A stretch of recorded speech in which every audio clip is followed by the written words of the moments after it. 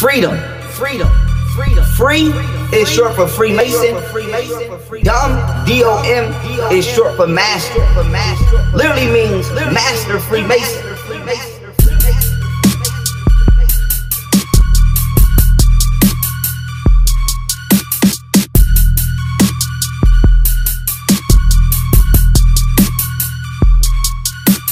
So all of that, I'm fighting for freedom.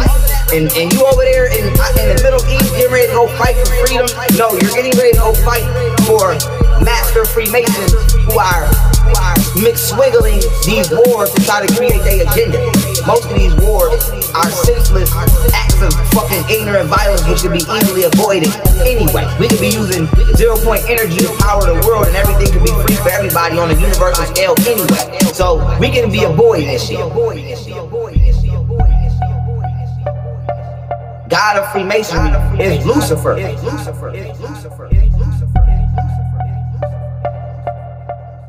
You have a master Freemason by the name of Albert Pike, who wrote a three-page letter speaking on the three world wars and how they would start in order to usher in the new world order via the Messiah.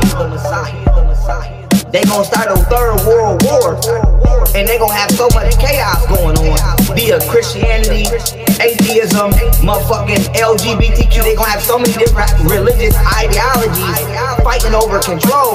That what they gonna do is they gonna make the Messiah, the return of the Messiah, aka the Luciferian doctrine, aka the savior, and it's gonna become the new, uh, you know, mental guidelining property for thought processes, aka the new world order, the one world government, the one God, one God, one God, God.